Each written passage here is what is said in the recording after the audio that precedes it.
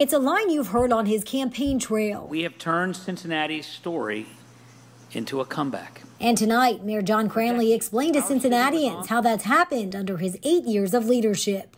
At the biggest picture level, cities are either growing or dying, and our city is growing again.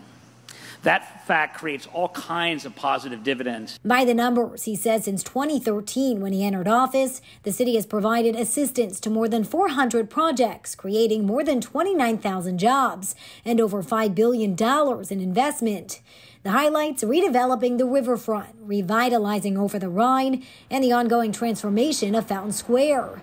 On a more human level, repairing our city's broken social contract in 2001 on policing, and in 2004 and 2014 on gay rights issues.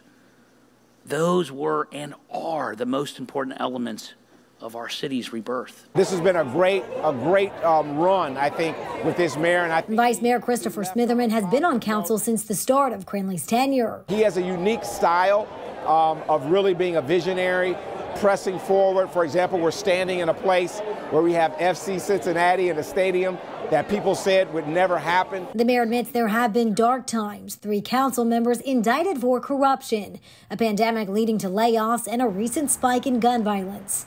But through it all, he says, I gave it my all. In Cincinnati, I'm Marielle Carbone, WCPO 9 News.